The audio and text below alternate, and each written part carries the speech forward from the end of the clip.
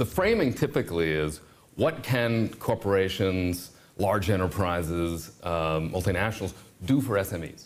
They have all the resources, right? What can they do for SMEs? How can they help the ecosystem?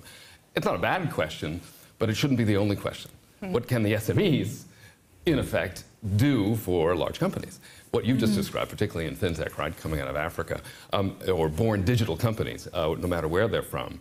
Um, big companies are learning from that, especially those that have legacy systems. They're trying to reinvent themselves. And where do the ideas for reinvention come from? But these new, smaller enterprises. Uh, again, that gets back to well, then how do you broker that, you know, the relationships, uh, such that it becomes truly symbiotic between these two important constituencies?